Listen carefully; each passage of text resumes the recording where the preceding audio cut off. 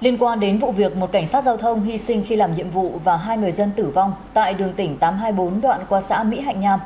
thông tin từ công an tỉnh long an cho biết, lực lượng chức năng vào sáng nay đã tạm giữ hai đối tượng ngồi trên xe ô tô. Được biết, lực lượng chức năng đã thu giữ được heroin và ma túy các loại trên xe bán tải mà hai đối tượng điều khiển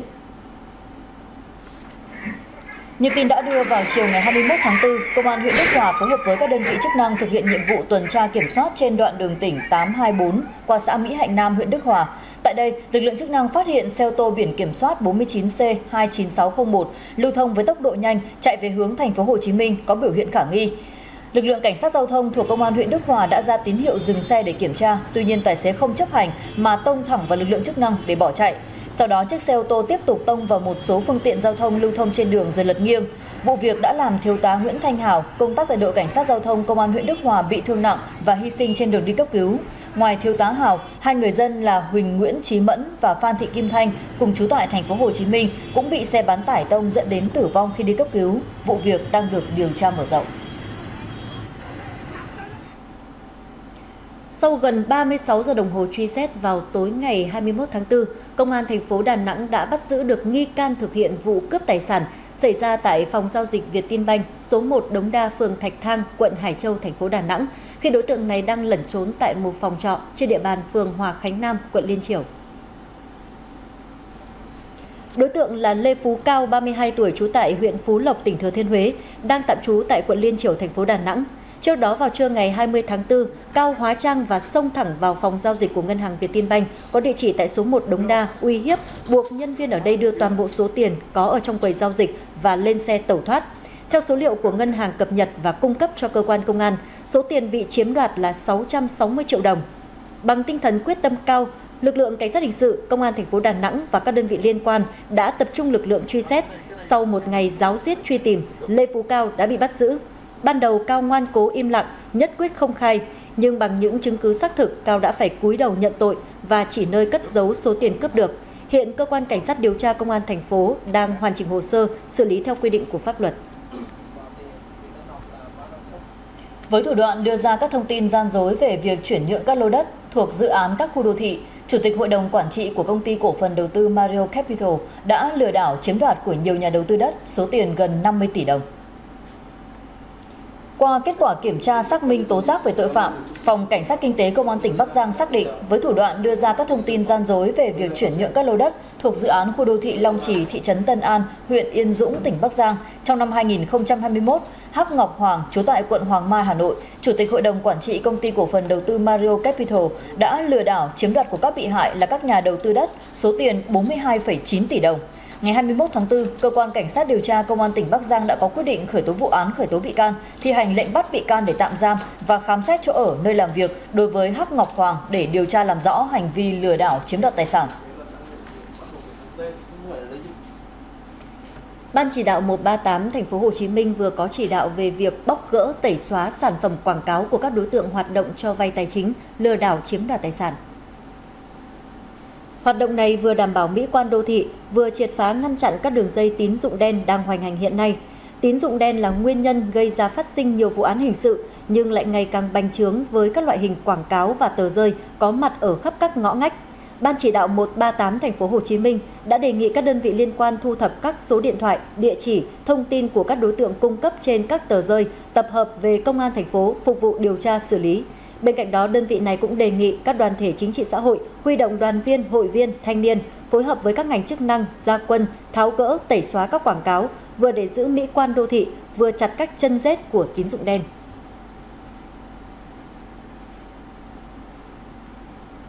Thưa quý vị, vào tối ngày hôm qua, tức ngày mùng 2 tháng 3 âm lịch, tại quảng trường Hùng Vương, thành phố Việt Trì, tỉnh Phú Thọ đã diễn ra chương trình khai mạc lễ hội đền Hùng, tuần văn hóa du lịch đất tổ năm 2023 và liên hoan di sản văn hóa phi vật thể được UNESCO ghi danh kỷ niệm 20 năm công ước UNESCO.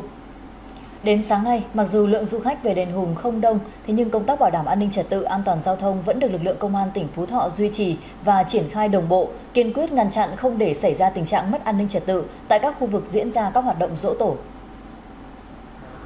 Sáu giờ sáng, lực lượng công an tỉnh Phú Thọ đã có mặt tại các chốt khu vực đền Hùng để triển khai phương án bảo đảm an ninh trật tự an toàn giao thông. Năm nay, theo dự báo của ban tổ chức dỗ tổ, lượng du khách về đền Hùng sẽ tăng cao hơn so với những năm trước. Vì vậy, để chủ động xử lý mọi tình huống phức tạp có thể phát sinh, Công an tỉnh Phú Thọ đã chủ động triển khai lực lượng sớm hơn so với những năm trước, kiên quyết ngăn chặn, không để tình trạng xấu xảy ra.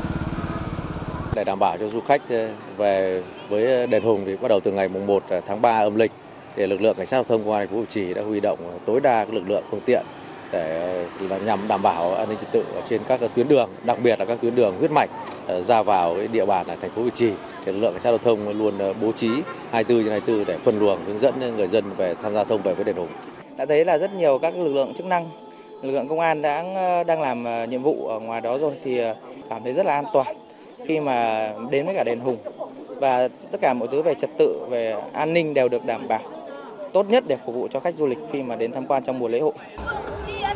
Để phòng ngừa, ngăn chặn các hành vi cờ bạc trộm cắp móc túi, Công an tỉnh đã chỉ đạo các phòng nghiệp vụ, Công an các huyện, thành thị tăng cường giả soát, thường xuyên kiểm danh kiểm diện các đối tượng trong diện quản lý nghiệp vụ, đồng thời phối hợp với các cục nghiệp vụ của Bộ Công an và Công an các tỉnh, thành phố lên danh sách các đối tượng hình sự hoạt động lưu động để có biện pháp phòng ngừa, ngăn chặn, không để các đối tượng lợi dụng lễ hội thực hiện hành vi phạm tội. Công tác chuẩn bị tôi đã chuẩn bị đầy đủ về quân số, vũ khí trang bị công cụ hỗ trợ và các ờ, vật chất liên quan để đảm bảo an ninh trật tự lễ hội đền Hùng năm 2023 đạt kết ờ, quả cao nhất. Thế còn ờ, trong quá trình làm nhiệm vụ ấy thì chúng tôi cũng luôn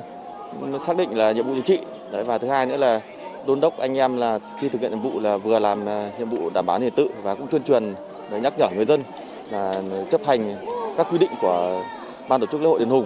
Quá trình à, thực hiện nhiệm vụ thì cũng luôn à, tuần tra các khu vực để đảm bảo an ninh đề phòng những kẻ gian lợi dụng à, móc túi. Ngay từ lúc xuống ở chiếc chân đèo cho đến đây thì phải nói là thấy cái tình hình an ninh trật tự rất là tốt. Các anh em của mình là bố trí các chốt chung quanh thì thấy có lực lượng công an của mình để có thể là à, cho người dân mà đi tham quan thì rất là yên tâm với sự chủ động linh hoạt trong triển khai phương án và ý thức trách nhiệm cao trước công việc của cán bộ chiến sĩ lực lượng công an toàn tỉnh tin tưởng công tác bảo đảm an ninh trật tự dỗ tổ Hùng Vương, lễ hội đền Hùng năm 2023 và tuần văn hóa du lịch đất tổ sẽ thành công, để lại ấn tượng và tình cảm tốt đẹp cho du khách thập phương, đồng bào cả nước. Thưa quý vị, với số ca nhiễm COVID-19 ngày một tăng, gần 100 ca mỗi ngày, mới đây Ủy ban nhân dân thành phố Hà Nội đã khuyến cáo người dân khi đi siêu thị, quán bar, dạp chiếu phim hay là đi xe buýt phải đeo khẩu trang để phòng chống dịch bệnh. Văn bản của thành phố Hà Nội đã được ban hành hỏa tốc nhằm tăng cường công tác phòng chống dịch tại thủ đô. Sau đây sẽ là ghi nhận về công tác này tại một số điểm công cộng tập trung đông người vào dịp cuối tuần. Tại tuyến phố đi bộ, khu vực quận Hoàn Kiếm, nơi đây tập trung khá đông người dân đến vui chơi vào dịp cuối tuần. Bên cạnh nhiệm vụ bảo vệ an ninh trật tự, lực lượng công an còn thường xuyên đưa ra khuyến cáo với người dân về việc đeo khẩu trang nơi đông người. Chúng tôi có tăng cường lực lượng đảm bảo an ninh trật tự và đồng thời là sẽ nhắc nhở người dân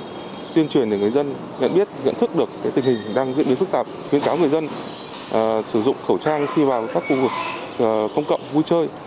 khi nhận được các khuyến cáo của lực lượng chức năng thì bản thân uh, người dân cũng đã có ý thức chấp hành đặc biệt là việc thực hiện đeo khẩu trang tuy nhiên có một số người dân trong quá trình tham gia hoạt động vui chơi giải trí ở nơi công cộng ờ, mặc dù có mang theo khẩu trang nhưng lại cất trong túi thì lực lượng chức năng cũng đã nhắc nhở và cơ bản người dân đã chấp hành.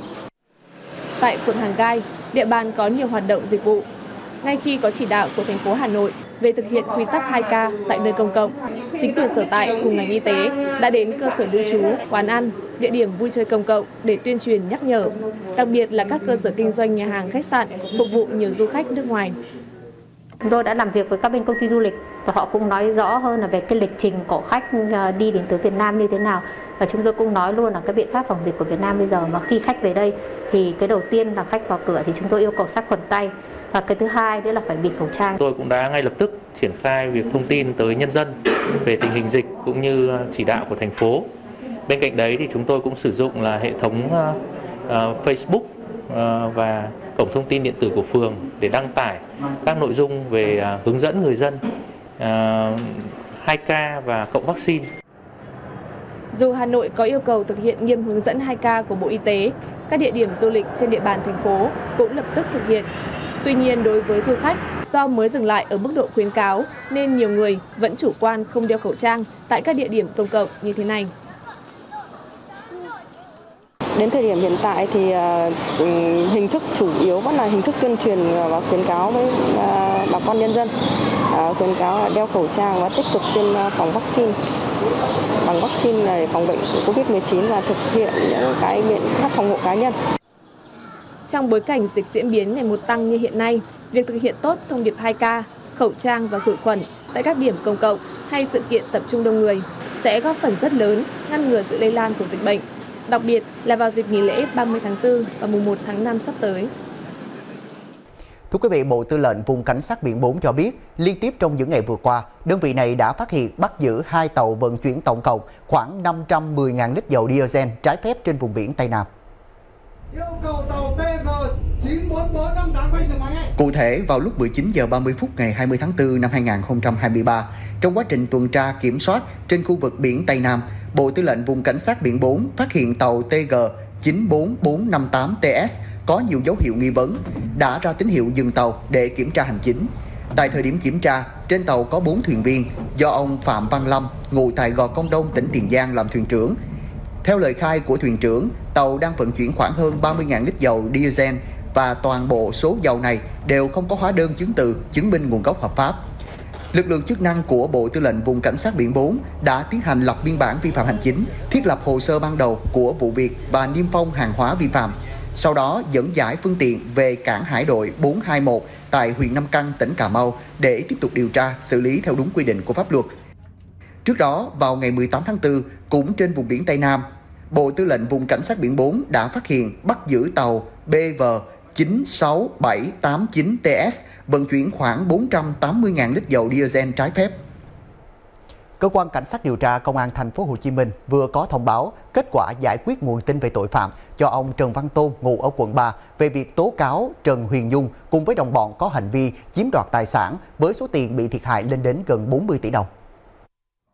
Trước đó, như truyền hình Công an Nhân dân đã thông tin, ngày 6 tháng 10 năm 2020, ông Trần Văn Tôn, sinh năm 1944, ngụ quận 3, thành phố Hồ Chí Minh, có đơn tố giác gửi cơ quan công an về việc tố cáo Trần Huyền Nhung, sinh năm 1983, ngụ quận 11, thành phố Hồ Chí Minh, nhận của ông hơn 20 tỷ đồng tiền mặt, 145.000 đô la Mỹ và tài sản bất động sản với tổng giá trị gần 40 tỷ đồng để xử lý đơn khiếu kiện của ông Tôn liên quan đến công ty Thế Kỷ. Tuy nhiên nhận tiền xong, Nhung không xử lý công việc cho ông Tôn mà cắt đứt liên lạc, có dấu hiệu bỏ trốn. Ngày 2 tháng 3 năm 2021, Công an thành phố Hồ Chí Minh gửi thông báo đến Cục Cảnh sát hình sự, Công an các quận huyện, thành phố Thủ Đức và các đơn vị liên quan nhằm phối hợp truy tìm Trần Huyền Nhung để làm rõ nội dung tố cáo của ông Tôn. Ngày 21 tháng 4 năm 2023, Công an thành phố Hồ Chí Minh đã có kết luận giám định của phòng kỹ thuật hình sự nên ra quyết định phục hồi việc giải quyết nguồn tin về tố giác tội phạm để xử lý theo quy định của pháp luật.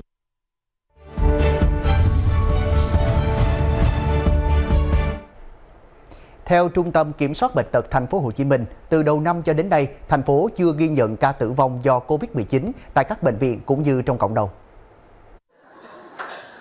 Tuần đầu tháng 4 vừa qua, trung bình thành phố ghi nhận mỗi ngày chỉ 1 đến 2 ca. Tuy nhiên tuần thứ hai thì có khoảng 5 đến 6 ca một ngày và tăng nhẹ trong những ngày qua. Cụ thể, ngày 19 tháng 4 ghi nhận 47 ca mắc mới, trong đó có 27 ca được chỉ định nhập viện điều trị. Có 24 người bệnh phải thở oxy, không có trường hợp thở máy. Bệnh nhân hầu hết là người cao tuổi có bệnh nền. Tuy nhiên, khẳng định cho tới bây giờ không có ca tử vong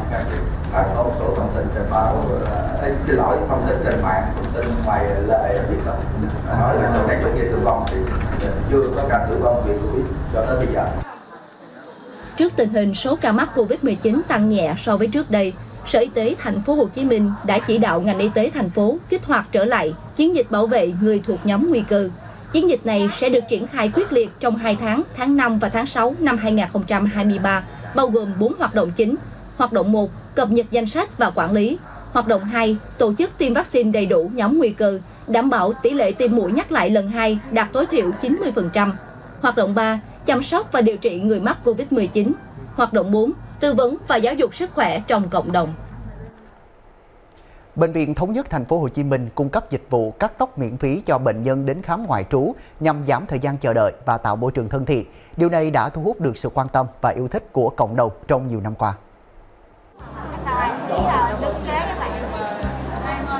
Bước vào khuôn viên khoa khám bệnh của bệnh viện Thống nhất, nhiều người ngỡ ngàng tưởng đang đi nhầm vào tiệm cắt tóc.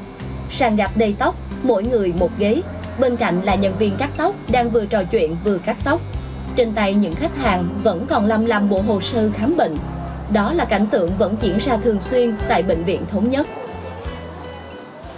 vừa khám được bệnh trong người đỡ lo mà tới đây được mấy bàn này là à, cắt tóc miễn phí này là thấy tinh thần nó sảng khoái lên vui vẻ lên.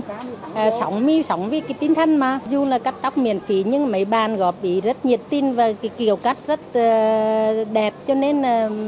mấy à, chúng tôi đây là thấy rất là, là, là, là, là an tâm. Trong uh, vô bệnh viện khám bệnh đây mà nếu có nếu mà được uh, cắt tóc như thế này rất là nhân viên uh, nhân viên hỗ trợ cho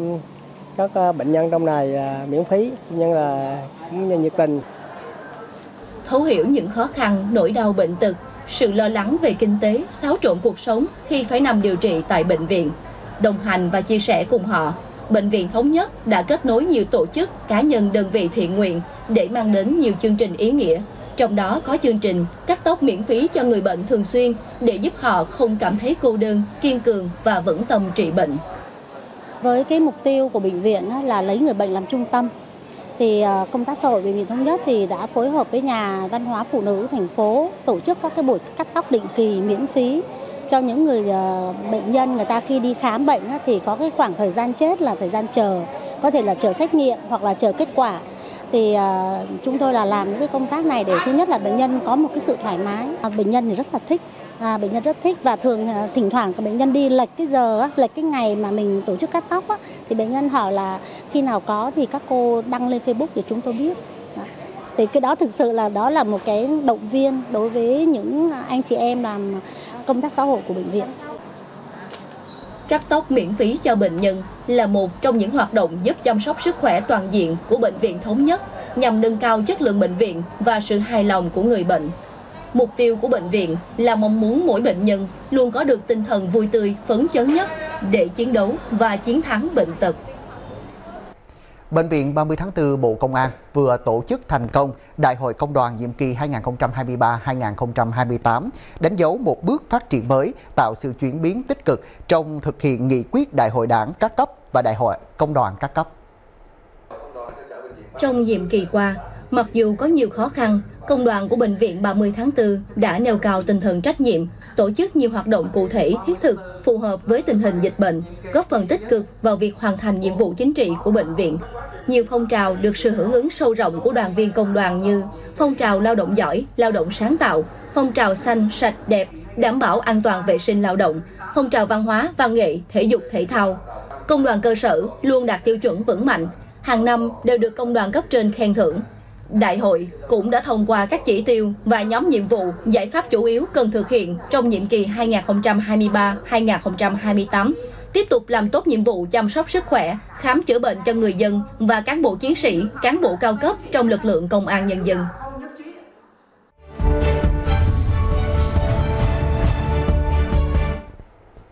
Sáng nay ngày 22 tháng 4, đoàn công tác Bộ Tư lệnh Vùng Cảnh sát biển 3 phối hợp với Ban dân vận tỉnh Tiền Giang, huyện ủy Gò Công Đông, Ủy ban nhân dân huyện Tân Phú Đông đã tổ chức chương trình cảnh sát biển đồng hành với ngư dân. Trong đó, cuộc thi Em yêu biển đảo quê hương đã diễn ra cho các học sinh từ cấp 2 cho đến cấp 3 trên địa bàn của huyện Tân Phú Đông, tỉnh Tiền Giang. Đoàn công tác Bộ Tư lệnh Vùng Cảnh sát biển 3 phối hợp với Ban dân vận tỉnh ủy Tiền Giang, huyện ủy Gò Công Đông, Ủy ban nhân dân huyện Tân Phú Đông đã tổ chức chương trình Cảnh sát biển đồng hành với ngư dân. Trong đó tổ chức cuộc thi Em yêu biển đảo quê hương cho các em học sinh trên địa bàn. Chương trình cũng có hoạt động tặng học bổng, xe đạp, sách vở và quà tặng cho gia đình chính sách, ngư dân có hoàn cảnh khó khăn. Ngoài ra, đoàn còn tổ chức tuyên truyền về vai trò của biển, đảo đối với sự nghiệp xây dựng và bảo vệ Tổ quốc, cách xác định vùng nội thủy, vùng lãnh hải, vùng đặc quyền kinh tế, tình hình an ninh, an toàn biển đảo của nước ta hiện nay và phòng chống khai thác IUU. Chương trình nhằm tạo sự gắn kết giữa cán bộ, chiến sĩ Bộ Tư lệnh Vùng Cảnh sát biển 3 và nhân dân, đồng thời củng cố lòng yêu nước, yêu biển đảo quê hương, Đây là lần thứ tư chương trình này được tổ chức trên địa bàn tỉnh Tiền Giang.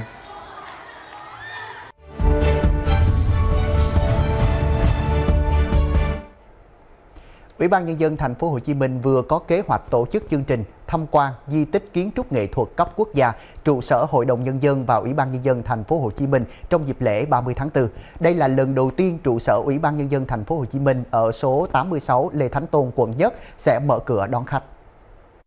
Du khách nội địa hay quốc tế đi theo đoàn cần đăng ký trước với Sở Du lịch thành phố Hồ Chí Minh. Khung giờ mở cửa là từ 8 đến 12 giờ và từ 14 đến 17 giờ trong ngày 29 tháng 4 và 30 tháng 4 du khách sẽ được tham quan một phần trụ sở Ủy ban nhân dân thành phố như sảnh chính, phòng tiếp khách quốc tế, cầu thang chính ở tầng trệt, sảnh chính, phòng tiếp khách quốc tế là phòng họp số 5 và ban công ở tầng 1. Mỗi lượt tham quan kéo dài 60 phút, du khách có 15 phút tham quan trước trụ sở, 35 phút bên trong trụ sở và 10 phút chụp hình trong khu vực được tham quan. Đồng thời du khách sẽ được nghe thuyết minh, giới thiệu về lịch sử hình thành và phát triển của tòa nhà. Tổng quan điểm nhấn kiến trúc thiết kế nghệ thuật bên ngoài tòa nhà, công năng của từng phòng. Mỗi lượt tối đa có hai đoàn tham quan, mỗi đoàn tham quan không quá 30 người và phải tuân thủ các quy định chống dịch.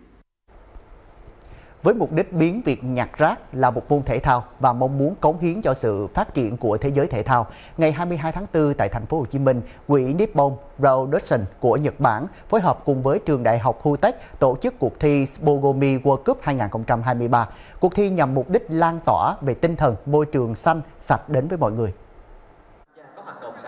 Tham gia cuộc thi Spogomi World Cup 2023 năm nay thu hút nhiều bạn trẻ tại các trường trên địa bàn thành phố Hồ Chí Minh. Với 40 đội tham gia, mỗi đội có 3 thành viên, các đội sẽ thi đấu để nhặt và phân loại rác trong 1 giờ. Trong đó số điểm giành được dựa trên số lượng và loại rác nhặt được ở một khu vực nhất định trong một thời gian giới hạn. Chương trình đã mang đến cho các bạn đó là bảo vệ môi trường và giúp cho mọi người truyền một cái thông điệp đến mọi người là hãy ờ, nhặt rác cũng như là để rác đúng nơi quy định. Sau cái chương trình này là mọi người sẽ cùng có một cái ý thức cao hơn trong cái việc là bảo vệ môi trường và mong muốn mọi người sẽ có ý thức hơn trong cái việc là khi mà mình vứt rác ra mình sẽ phân loại rác ra để nó tránh bị ô nhiễm. Em mong muốn đó là tất cả mọi người hãy bảo vệ môi trường, bảo vệ môi trường sống của mình và hãy tự nâng cao ý thức của mình. Và cuối cùng đó là mình hãy tuyên truyền đến mọi người về việc tác hại của những thuốc lá và uh, chất thải ra môi trường ạ. Cuộc thi này là em thấy nó rất là ý nghĩa và độc đáo. Tại sao độc đáo? Tại vì uh, kiểu công việc nhặt rác đó, nó đối với mọi người nó khá là bình thường nhưng mà giờ nó lại trở thành một cái cuộc thi mọi người đấu với nhau giống như là cuộc thi này được đã làm ra để khuyến khích mọi người có ý thức nâng cao ý thức về uh, rác thải cũng giống như là giúp cho môi trường trở nên xanh hơn Bằng việc đổ mồ hôi và thi nhau nhặt rác, cuộc thi Spogomi World Cup 2023 năm nay giúp rèn luyện một cơ thể khỏe mạnh và khuyến khích các trẻ em và người lớn nhận thức được tầm quan trọng của việc tái chế và không vứt rác bừa bãi. Đây cũng góp phần tạo ra một thành phố sạch sẽ và tiện lợi trong sinh hoạt, đồng thời mang đến sức hấp dẫn mới trong các môn thể thao bằng cách kết hợp giữa thể thao và môi trường. Cái việc bảo vệ môi trường, nó là cái vấn đề rất là lớn mà toàn nhân loại phải đối mặt Việt Nam chúng ta cũng vậy thôi. Thế thì thông qua cuộc thi này thì rõ ràng là các em sinh viên ờ, đâu đó là ờ, tham gia vào cái việc ờ, này và đồng thời là lan tỏa những cái giá trị về bảo vệ môi trường tới cho cộng đồng. Cuộc thi được tổ chức lần đầu tiên năm 2008 tại Nhật Bản. Năm nay có tổng cộng 21 quốc gia cùng tham gia. Tại đây sẽ lựa chọn ra các đội xuất sắc nhất để tham gia vào vòng chung kết tại Nhật. Cuộc thi tổ chức với mong muốn lan tỏa đến nhiều người, đặc biệt là những người chưa có quan tâm, hiểu biết về vấn đề môi trường cũng như ô nhiễm môi trường biển. Qua đó giúp mọi người hiểu hơn về vấn đề này để tham gia các hoạt động bảo vệ môi trường và làm giảm thiểu rác thải nhựa. Cuộc thi năm nay là một phần trong dự án biển và Nhật Bản thay đổi vì màu xanh của Nhật Bản nhằm mục đích thúc đẩy sự lan rộng của cuộc thi ra quốc tế và tạo cơ hội cho mọi người thuộc mỗi quốc tịch ở các thế hệ tham gia các hoạt động giảm thiểu rác thải biển, qua đó lan tỏa đến mọi người ý thức hơn trong việc giảm thiểu rác thải biển trên toàn cầu. Đội chiến thắng của vòng loại lần này sẽ đại diện Việt Nam tham dự trận chung kết. Mở đầu là những tin tức an ninh kinh tế. Với thủ đoạn đưa ra các thông tin gian dối về việc chuyển nhượng các lô đất thuộc dự án các khu đô thị, Chủ tịch Hội đồng Quản trị của công ty cổ phần đầu tư Mario Capital đã lừa đảo chiếm đoạt của nhiều nhà đầu tư số tiền gần 50 tỷ đồng. Qua kết quả kiểm tra xác minh tố giác về tội phạm, Phòng Cảnh sát Kinh tế Công an tỉnh Bắc Giang xác định với thủ đoạn đưa ra các thông tin gian dối về việc chuyển nhượng các lô đất thuộc dự án khu đô thị Long Trì, thị trấn Tân An, huyện Yên Dũng, tỉnh Bắc Giang trong năm 2021, Hắc Ngọc Hoàng, trú tại quận Hoàng Mai, Hà Nội, Chủ tịch Hội đồng Quản trị Công ty Cổ phần Đầu tư Mario Capital đã lừa đảo chiếm đoạt của các bị hại là các nhà đầu tư đất số tiền 42,9 tỷ đồng. Ngày 21 tháng 4, cơ quan cảnh sát điều tra công an tỉnh Bắc Giang đã có quyết định khởi tố vụ án khởi tố bị can, thi hành lệnh bắt bị can để tạm giam và khám xét chỗ ở nơi làm việc đối với Hắc Ngọc Hoàng để điều tra làm rõ hành vi lừa đảo chiếm đoạt tài sản. Hôm nay, Công an tỉnh Hà Tĩnh cho biết đã ra quyết định khởi tố vụ án khởi tố các bị can và bắt tạm giam đối với Nguyễn Tiến Hùng, Phó Giám đốc Trung tâm đăng kiểm xe cơ giới 3802G và Phan Thanh Huy, đăng kiểm viên Trung tâm 3802G về hành vi nhận hối lộ. Trung tâm đăng kiểm xe cơ giới 3802G đóng tại tổ dân phố 2 phường Đậu Liêu, thị xã Hồng Lĩnh. Trước đó, cơ quan cảnh sát điều tra công an tỉnh Hà Tĩnh đã vào cuộc điều tra, cho thấy trong quá trình làm việc tại trung tâm 3802G, các cán bộ nhân viên ở đây có nhận tiền để bỏ qua một số lỗi khi đăng kiểm xe ô tô. Hiện nay trung tâm 3802G đang dán thông báo tạm nghỉ để sửa chữa thiết bị. Cơ quan cảnh sát điều tra công an tỉnh Hà Tĩnh đang tiếp tục mở rộng điều tra. Đối tượng Lý Thái Thạch, trú tại huyện Tuy Phước, tỉnh Bình Định vừa bị văn phòng cơ quan cảnh sát điều tra công an tỉnh Đắk Lắc bắt giữ. Đây là đối tượng có hành vi lừa đảo chiếm đoạt tài sản, bị cơ quan cảnh sát điều tra công an tỉnh Bình Định truy nã. Theo kết quả điều tra vào khoảng tháng 6 năm 2021, Phòng Cảnh sát Hình sự Công an tỉnh Bình Định có phát hiện và xử lý một đường dây số đề và có tạm giữ hình sự một số đối tượng. Sau đó, người nhà của các đối tượng trên tìm cách để lo tại ngoại cho những người này thì gặp Thạch và được Thạch cho biết là có quen biết với nhiều người có khả năng lo được việc tại ngoại, giảm nhẹ hình phạt và yêu cầu người nhà những người này bỏ số tiền 1,5 tỷ đồng để lo việc. Thạch yêu cầu tạm ứng 500 triệu đồng thì người nhà những đối tượng bị tạm giữ có yêu cầu viết một giấy với nội dung Thạch mượn số tiền 500 triệu đồng. Tuy nhiên sau một thời gian, người nhà thấy những người bị tạm giữ không được tại ngoại nên yêu cầu Thạch trả lại tiền thì Thạch không trả nên đã báo lên cơ quan công an. Sau đó Thạch bỏ đi khỏi địa phương và bị truy nã. Đến nay, Lý Thái Thạch đã bị văn phòng cơ quan cảnh sát điều tra công an tỉnh Đắk Lắk bắt giữ. Thưa quý vị, những ngày gần đây xuất hiện một số tin đồn thất thiệt liên quan đến một số cán bộ nhân viên và người thân của cán bộ nhân viên hiện đang làm việc tại Quỹ tín dụng nhân dân phường 2 thành phố Bảo Lộc, tỉnh Lâm Đồng. Qua giả soát, Ngân hàng Nhà nước chi nhánh tỉnh Lâm Đồng khẳng định các thông tin trên là không có cơ sở. Hoạt động của Quỹ tín dụng nhân dân phường 2 vẫn diễn ra bình thường, không liên quan đến các trường hợp vỡ nợ như tin đồn. Xuất hiện tin đồn về cán bộ Quỹ tín dụng nhân dân phường 2, thành phố Bảo Lộc bị vỡ nợ nên trong những ngày vừa qua, nhiều khách hàng, thành viên đến rút tiền gửi tại Quỹ tín dụng nhân dân phường 2 gây ảnh hưởng không tốt đến hoạt động của đơn vị. Đồng thời, ảnh hưởng đến hoạt động của một số quỹ tín dụng nhân dân trên địa bàn thành phố Bảo Lộc và huyện Bảo Lâm. Hiện giờ là cá nhân tôi cũng như gia đình không có nợ bất cứ một cá nhân nào và cũng không có vay nợ bất cứ một ngân hàng nào. Thông tin uh, đồn tôi vay nợ vỡ nợ là hoàn toàn sai sự thật. Trước tình hình trên, Ngân hàng Nhà nước chi nhánh tỉnh Lâm Đồng khẩn trương nắm tình hình, thực hiện một số biện pháp hạn chế rủi ro trong hoạt động đối với các tổ chức tín dụng trên địa bàn, trong đó có các quỹ tín dụng nhân dân. Cơ quan này cũng gặp gỡ, làm việc với lãnh đạo thành phố Bảo Lộc để tìm hướng giải quyết. Ngân hàng Nhà nước Việt Nam chi nhánh Lâm Đồng đã phát đi văn bản khẳng định Quỹ tín dụng nhân dân phường 2 không liên quan đến các trường hợp vỡ nợ như tin đồn. Và qua cái nắm bắt thông tin từ bên cơ quan công an, thì chúng tôi xác định là và công bố với bà con là các thông tin mà bà con nghe đó là thông tin đồn và không có cái cơ sở. Ừ, khẳng định như vậy. Từ cái việc à, tin đồn đó thì bà con à, rút tiền ở cái quỹ. Thì cái điều này thì chúng hiểu, chúng ta hiểu rằng là như bà con mình vẫn nói là đồng tiền đi đường, đi khóc ruột do vậy cái chuyện bà con nghe tin đồn và lo lắng cho tài sản của mình thì đó cái điều cũng bình thường thôi. Tuy nhiên việc mà rút tiền gửi trước hạn đó nó trực trước hết là ảnh hưởng đến lợi ích của chính người gửi tiền. À, và để đảm bảo cái à, khả năng à, lợi ích của bà con cũng như là an ninh trật tự trách nhiệm của ngân hàng nhà nước nó có hai nhiệm vụ chính trong cái cái luật ngân hàng nhà nước đó là thực hiện chính sách tiền tệ và một mục, mục tiêu nữa đó là đảm bảo lợi ích của người gửi tiền Do vậy trong bất cứ trường hợp nào thì bà con cũng vẫn yên tâm là tiền quyền lợi của mình vẫn được đảm bảo. Hiện Quỹ tín dụng nhân dân phường 2 vẫn duy trì hoạt động bình thường, đảm bảo thanh khoản cho những người có nhu cầu. Liên quan đến vụ việc, Công an thành phố Bảo Lộc khẳng định, thời gian qua, Công an thành phố không nhận được bất kỳ đơn từ phản ánh, tố cáo nào liên quan đến tài chính, tiền bạc của gia đình bà Đỗ Thị Yên, giám đốc Quỹ tín dụng nhân dân phường 2. Điều đó cho thấy thông tin đang lan truyền về việc bà Yên vỡ nợ là thông tin thất thiệt, thiếu kiểm chứng. Một vụ vận chuyển thuốc lá điếu nhập lậu số lượng lớn vừa bị công an huyện Kế Sách tỉnh Sóc Trăng phát hiện bắt quả tàng. Vào dạng sáng ngày 21 tháng 4, qua công tác tuần tra kiểm soát bảo đảm an ninh trật tự và phòng chống tội phạm trên địa bàn, tổ tuần tra thuộc công an huyện Kế Sách tiến hành dừng xe ô tô do đoàn Quốc Nhã điều khiển. Kiểm tra phương tiện, lực lượng chức năng phát hiện bên trong có chứa 12.000 bao thuốc lá điếu nhập lậu. Qua làm việc ban đầu, lái xe khai nhận trước đó đã nhận trở thuê số thuốc lá trên từ tỉnh Long An về tỉnh Sóc Trăng để tiêu thụ. Khi đến địa điểm trên thì bị lực lượng công an kiểm tra, phát hiện và bắt quả tang. Tiếp tục với những thông tin về du lịch, tận hưởng Đà Nẵng, Enjoy Đà Nẵng. Đó là chương trình kích cầu du lịch năm 2023 vừa được thành phố Đà Nẵng công bố. Theo đó, chương trình sẽ có 5 chủ đề: tận hưởng lễ hội, tận hưởng biển nghỉ dưỡng, tận hưởng vui chơi giải trí, tận hưởng ẩm thực spa và tận hưởng mua sắm.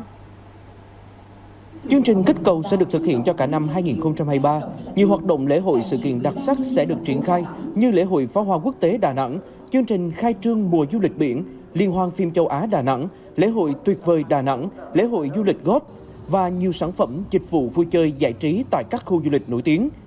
10.000 voucher của các khu điểm du lịch, khách sạn, resort 4 năm sao, show diễn, tàu du lịch, cơ sở dịch vụ ẩm thực spa chất lượng cao sẽ được trao tặng để du khách tận hưởng và trải nghiệm thông qua hình ảnh xe live ảnh, video về du lịch Đà Nẵng, tham gia các mini game tại các nền tảng mạng xã hội. Với chương trình kích cầu, Đà Nẵng đặt ra mục tiêu thu hút khoảng từ 1 đến 1,5 triệu lượt khách nội địa và quốc tế đến tham quan du lịch thành phố trong năm nay. Để bảo đảm an ninh an toàn và nâng cao chất lượng phục vụ du khách trong dịp nghỉ lễ, Tổng cục Du lịch đã có công văn yêu cầu Sở Quản lý Du lịch các tỉnh, thành phố trực thuộc Trung ương tăng cường bảo đảm các hoạt động du lịch trong dịp nghỉ lễ 30 tháng 4, 1 tháng 5. Tổng cục Du lịch đề nghị Sở Quản lý Du lịch các địa phương khẩn trương triển khai các công việc như chỉ đạo ban quản lý các khu điểm du lịch, các cơ sở kinh doanh du lịch và dịch vụ du lịch trên địa bàn, chủ động phương án tổ chức các hoạt động phục vụ du khách trong dịp nghỉ lễ, bố trí đủ lực lượng cơ sở vật chất, thực phẩm và điều kiện cần thiết để phục vụ du khách. Tổng cục Du lịch yêu cầu các địa phương bảo đảm an toàn cho khách du lịch, bố trí cảnh báo cứu hộ cứu nạn, tăng cường kiểm soát bảo đảm an ninh an toàn phòng chống cháy nổ, phòng chống dịch bệnh theo quy định và khuyến cáo của ngành y tế. Các địa phương cần tăng cường công tác bảo đảm an toàn vệ sinh thực phẩm, phòng chống ngộ độc thực phẩm. Đồng thời các địa phương cần có biện pháp kiểm soát giá dịch vụ du lịch, bán đúng giá niêm yết, không để xảy ra tình trạng tuyệt tiện nâng giá, trèo kéo ép khách, gây sốt giá, ảnh hưởng xấu đến hình ảnh của địa phương nói riêng và Việt Nam nói chung. Phải đến sát nghỉ lễ 30 tháng 4 1 tháng 5 năm ngoái, tức là chỉ còn từ 1-2 ngày, thì giá vé máy bay từ Hà Nội, thành phố Hồ Chí Minh đến các điểm du lịch mới quay đầu giảm mạnh. Tuy nhiên thì năm nay giá vé đã giảm sớm hơn so với dự kiến. Qua khảo sát cho thấy là nhiều chặng bay hot đến Huế, Đà Nẵng, Đà Lạt đều đã hạ nhiệt, nổi bật là chặng Hà Nội, Nha Trang và thành phố Hồ Chí Minh, Nha Trang. Ngày 21 tháng 4, qua khảo sát trang bán vé trực tuyến của các hãng hàng không nội địa, nhiều đường bay đã được các hãng hàng không mở bán thêm vé dịp nghỉ lễ 30 tháng 4 1 tháng 5 với giá vé chỉ bằng một nửa so với ít ngày trước. Đường bay từng hết vé nay lại có với nhiều khung giá cho khách chọn. Với các trạng bay cao điểm, nhu cầu khách lớn như từ Hà Nội, thành phố Hồ Chí Minh đi Phú Quốc, Huế, Đà Nẵng, Nha Trang, Đà Lạt hay đường bay vàng Hà Nội, thành phố Hồ Chí Minh, tất cả đều đã hạ nhiệt đáng kể so với thời điểm cách đây một tuần. Giá vé máy bay khứ hồi chặng thành phố Hồ Chí Minh Nha Trang giảm lên đến 50%. Trên chặng đường bay Hà Nội Huế cũng đã giảm nhưng gần như hết vé. Trong khi đó, giá vé máy bay đi du lịch Phú Quốc dịp nghỉ lễ vẫn neo ở mức cao và thậm chí cạn rất nhanh. Để phục vụ nhu cầu đi lại của người dân trong dịp nghỉ lễ 30 tháng 4 1 tháng 5 được thuận tiện an toàn, bên cạnh việc duy trì chạy hàng ngày các đôi tàu khách cố định, trong các ngày từ 28 tháng 4 đến 1 tháng 5, công ty cổ phần vận tải đường sắt Hà Nội sẽ tăng cường chạy thêm 55 đoàn tàu trên các tuyến, đặc biệt là đến các tỉnh có số đông lượng khách du lịch đến tham quan trong những ngày nghỉ lễ. Cụ thể, tuyến Hà Nội thành phố Hồ Chí Minh sẽ chạy thêm 4 chuyến tàu SE11 và SE12 với các tuyến khác tổ chức chạy thêm 51 đoàn tàu trên các tuyến có điểm du lịch như Lào Cai, Đà Nẵng, Vinh, Đồng Hới, Thanh Hóa. Đồng thời dự kiến bổ sung thêm các tàu từ ngày 28, 29 nếu số lượng khách hàng quá đông. Trong cái dịp à, 30 tháng 4 và 1 tháng 5 năm nay thì nhân dân chúng ta đã được nghỉ Tết được dài hơn cho nên là cái nhu cầu của hành khách đi lại trong cái dịp 30 nghỉ lễ 30 tháng 4 và mùng 1 tháng 5 nay có đông hơn. Trên cái cơ sở đó thì công ty vận tải đường sắt Hà Nội cũng đã tăng à, cường các cái uh, xe và các gian xe. Mặc dù tăng cái, cái uh, những cái gian xe và các đoàn xe và tăng cường cái công tác uh, phục vụ thì chúng tôi cũng vẫn áp dụng cái chính sách giảm giá vé và mức giảm thì tùy thuộc vào cái đối tượng trong đó cả đối tượng bà mẹ Việt Nam anh hùng, thương binh, người có công cách mạng, người có hoàn cảnh khó khăn. Theo ghi nhận của phóng viên ở ga Hà Nội tại thời điểm này, số lượng hành khách đến mua vé trực tiếp tăng nhẹ so với ngày thường. Nhưng số lượng hành khách mua vé online lại tăng gần 200% so với năm ngoái. Lý giải về thực trạng này, công ty cổ phần vận tải đường sắt Hà Nội cho biết, việc triển khai các chính sách giá vé linh hoạt, xây dựng giá vé thành nhiều giai đoạn khác nhau đã thu hút lượng lớn hành khách đi tàu hỏa và không để xảy ra tình trạng chen lấn, thiếu vé. Hiện nay thì cái việc mua vé ừ, tàu thì cũng rất là thuận tiện. Hành khách có thể là đặt trên website dsvn.vn hoặc qua các ứng dụng à, à, trên điện thoại ví dụ như Vimo, Momo, Viettel Pay, à, VNPay và ừ, còn một cái kênh nữa đó là bán vé qua cái tổng đài 19000109 đối với các cái đoàn tập thể thì khách có thể gửi mail thông tin qua cái địa chỉ mail của tổng đài và chúng tôi sẽ đáp ứng bán vé qua hành khách à, cho hành khách qua cái kênh đó và như thế thì cũng là làm giảm cái lượng hành khách mà phải tập trung đến ga mua vé và cũng không phải chờ đợi lâu. Năm nay, cán bộ công nhân viên được nghỉ lễ 5 ngày liên tục. Do đó, để đảm bảo nhu cầu đi lại của người dân được đảm bảo thông suốt, công ty cổ phần vận tải đường sắt Hà Nội đã tăng cường 100% nhân viên trực 24 trên 24 giờ trong các ngày lễ, đồng thời lên kế hoạch ngăn chặn xử lý những trường hợp cò mồi gây dối tại nhà ga. Ngoài ra, ngành đường sắt cũng khuyến cáo người dân nên mua vé sớm và chỉ mua vé tại các website chính thống, tại các nhà ga, các điểm bán vé của ngành đường sắt Việt Nam, tránh tình trạng mua phải vé tàu giả từ các trang mạng lừa đảo.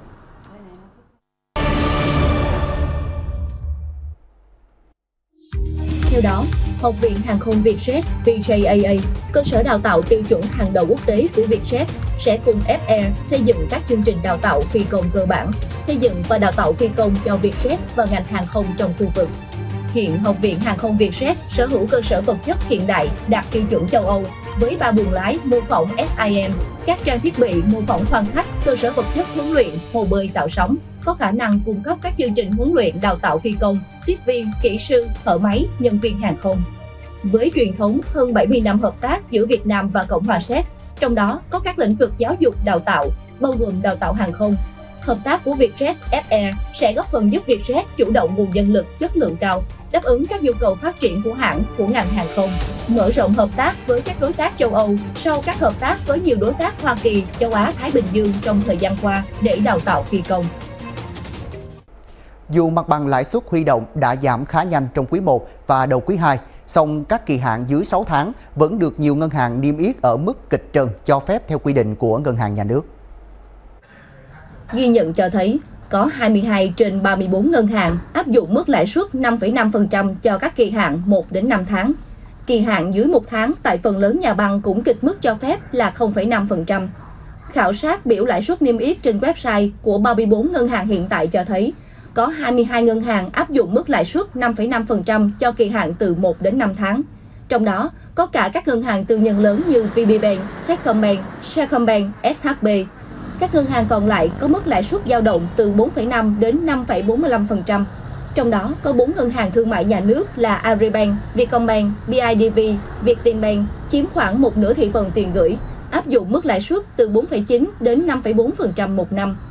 Phần lớn các ngân hàng được khảo sát cũng đang niêm yết kịch mức cho phép là 0,5% cho các kỳ hạn dưới một tháng. Theo giới phân tích, hiện tượng một số ngân hàng huy động lãi suất kỳ hạn ngắn cao hơn kỳ hạn dài thể hiện các ngân hàng này đang bị lệch cấu trúc kỳ hạn huy động và tín dụng. Trong đó, các kỳ hạn ngắn bị thiếu hụt thanh khoản và các kỳ hạn dài thì dư thừa. Điều này thường gặp tại các ngân hàng thương mại vừa và nhỏ. Ngân hàng Nhà nước chi nhánh thành phố Hồ Chí Minh cho biết, trong quý 1 năm 2023, lượng kiều hối chuyển về thành phố Hồ Chí Minh đạt hơn 2 tỷ đô la Mỹ, tăng 19,41% so với cùng kỳ năm 2022. Lượng kiều hối chuyển về thành phố Hồ Chí Minh trong 3 tháng đầu năm có mức tăng trưởng cao, bằng khoảng 32% tổng số lượng kiều hối chuyển về địa bàn trong năm 2022. Nguồn kiều hối chủ yếu được chuyển về từ khu vực châu Á, do khu vực này ổn định, duy trì được tốc độ tăng trưởng kinh tế. Đây cũng là khu vực có lượng kiều hối chuyên đề thành phố Hồ Chí Minh tăng mạnh trong quý 1 năm 2023, tăng đến 84% so với cùng kỳ. Trong khi các khu vực khác như châu Mỹ, châu Phi, châu Đại Dương, kiều hối chuyển về giảm do điều kiện kinh tế khó khăn và lạm phát tăng. Lượng kiều hối về thành phố Hồ Chí Minh tăng trưởng tốt trong quý đầu năm 2023, cho thấy điểm sáng phản ánh môi trường đầu tư của Việt Nam ngày càng thuận lợi. Qua đó cũng cho thấy sự quan tâm và lòng yêu nước của kiều bào sự chịu khó và tích lũy của người lao động Việt Nam tại nước ngoài. Theo báo cáo về di trú và phát triển do Ngân hàng Thế giới WB và Tổ chức Hợp tác Quốc tế về người di cư KNOMAD thực hiện, tổng lượng kiều hối về Việt Nam năm 2022 đạt gần 19 tỷ đô la Mỹ, tăng gần 5% so với năm 2021. Việt Nam cũng nằm trong danh sách 10 quốc gia nhận kiều hối lớn nhất trên thế giới Riêng thành phố Hồ Chí Minh, lượng kiều hối chuyển về năm 2022 đạt hơn 6,6 tỷ đô la Mỹ. Ủy ban nhân dân thành phố Hồ Chí Minh vừa ra văn bản khẩn về kiểm tra, giám sát công tác giải ngân vốn đầu tư công các công trình dự án trọng điểm ở thành phố Hồ Chí Minh. Theo đó, các đơn vị phải chú trọng ra soát dự án đã hoàn thành thủ tục đầu tư, đủ điều kiện giao vốn, tiến độ triển khai dự án đã được giao vốn và kết quả giải ngân vốn để thực hiện đồng thời tăng cường công tác kiểm tra, giám sát, đôn đốc các dự án, tháo gỡ vướng mắc khó khăn của mỗi dự án đã giao vốn nhưng không thể triển khai hoặc chậm. Kịp báo cáo tổ công tác của ban thường vụ thành ủy xem xét chỉ đạo. Người đứng đầu các địa phương, cơ quan, đơn vị nói trên và chủ đầu tư các dự án chịu trách nhiệm trước ủy ban nhân dân thành phố Hồ Chí Minh trong đảm bảo tiến độ chất lượng dự án và khối lượng giải ngân vốn đầu tư công tại địa phương, đơn vị. Ủy ban nhân dân thành phố Hồ Chí Minh kiên quyết xử lý nghiêm trường hợp thiếu trách nhiệm làm chậm tiến độ giao vốn, điều chỉnh vốn, thực hiện dự án và giải ngân vốn đầu tư công nhằm thúc đẩy tiến độ giải ngân đầu tư công. Ban Thường vụ Thành ủy thành phố Hồ Chí Minh sẽ kiểm tra giám sát 38 công trình trọng điểm tại thành phố Hồ Chí Minh. Ủy ban Nhân dân xã Phú Ngọc, huyện Định Quán, tỉnh Đồng Nai vừa phối hợp với Phòng Nông nghiệp và Phát triển Nông thôn huyện Định Quán, Khu Bảo tồn Thiên nhiên Văn hóa Đồng Nai, Chi cục Thủy sản tỉnh Đồng Nai chi trả tiền hỗ trợ mua ngư cụ đánh bắt thủy sản cho các hộ dân trên địa bàn của xã Phú Ngọc. Trong đợt này, xã Phú Ngọc có 9 hộ thực hiện đầy đủ các thủ tục liên quan, được nhận hỗ trợ mua ngư cụ khai thác đánh bắt thủy sản khu vực lòng hồ Trị An theo quyết định số 81 trên QD UBND của Ủy ban Nhân dân tỉnh Đồng Nai. Trong đó, hai hộ làm nghề lập xếp được nhận hỗ trợ mỗi hộ 35 triệu đồng. 7 hộ còn lại làm nghề cào te, mỗi hộ được nhận 14 triệu đồng để mua ngư cụ hành nghề đánh bắt. Các ngư dân sau khi được nhận hỗ trợ phải cam kết chấm dứt sử dụng nghề ngư cụ cấm trong khai thác thủy sản. Trong đợt 1, toàn huyện Định Quán có 21 hộ dân được nhận hỗ trợ tiền mua ngư cụ để chuyển đổi nghề đánh bắt thủy sản trên hồ Trị An.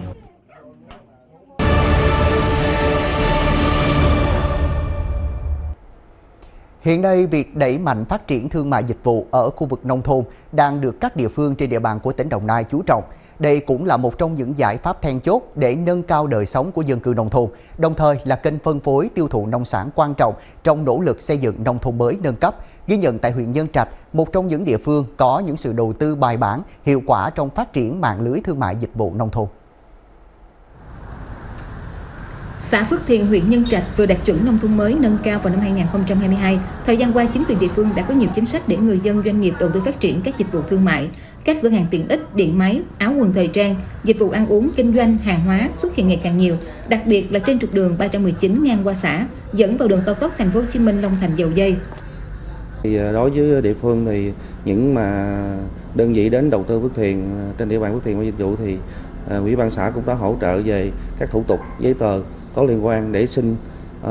cấp giấy phép hoạt động, cấp giấy phép đầu tư, giấy phép xây dựng ờ, theo quy định để đảm bảo cái đúng hoạt động đúng theo quy định của pháp luật. Thì đồng thời là ủy ban xã cũng đã chỉ đạo uh, các lực lượng phối hợp các cơ sở kinh doanh trên địa bàn đảm bảo về vấn đề an ninh trật tự, phòng cháy chữa cháy trong quá trình hoạt động trên địa bàn xã Thiền. Ngoài xã Phước Thiền, các đơn vị khác tại Nhân Trạch cũng đang tập trung quy động, lồng ghép các chương trình dự án để đầu tư phát triển kết cấu hạ tầng, phục vụ phát triển thương mại dịch vụ, chú trọng kêu gọi thu hút các thành phần kinh tế tham gia đầu tư kinh doanh sản xuất trên địa bàn. Các thủ tục hành chính liên quan cũng được đơn giản hóa, tạo điều kiện để các hộ dân được vay vốn ưu đãi để mở rộng phát triển kinh doanh. Về chính quyền địa phương thì ờ,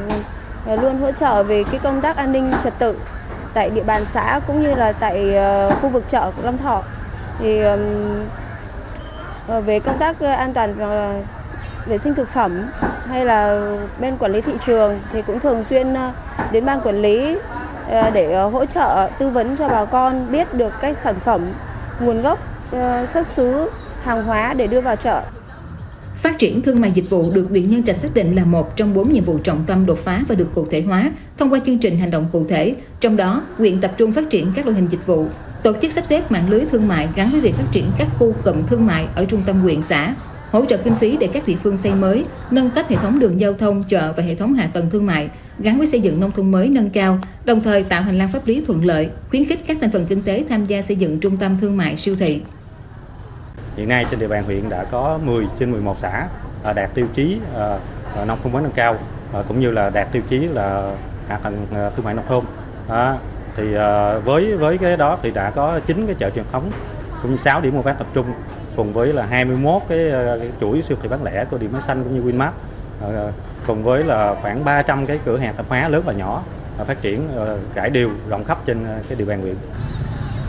Đầu tư về cơ sở hạ tầng thương mại nông thôn cũng là một tiêu chí trong bộ tiêu chí xây dựng nông thôn mới. Tại Đồng Nai, tỉnh đã và đang triển khai đồng bộ nhiều giải pháp như ban hành nhiều văn bản quy phạm pháp luật để hỗ trợ phát triển cơ sở hạ tầng thương mại nông thôn, từng bước giảm tình trạng kinh doanh tự phát, triển khai thực hiện các quy hoạch phát triển ngành thương mại dịch vụ, quy hoạch phát triển mạng lưới chợ, đề án phát triển thương mại nông thôn để hoàn thiện cơ sở hạ tầng thương mại dịch vụ.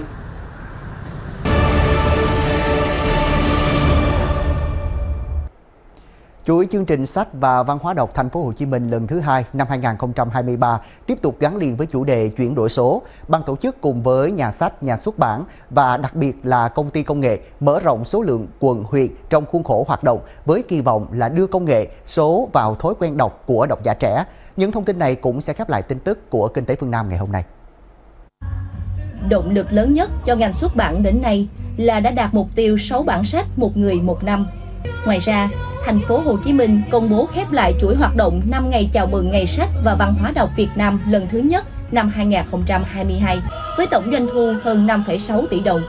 Từ cơ sở đó, Sở Thông tin Truyền thông thành phố Hồ Chí Minh triển khai chuỗi hoạt động cho Ngày sách và Văn hóa đọc năm 2023 với khoảng 100 hoạt động với địa bàn mở rộng hơn.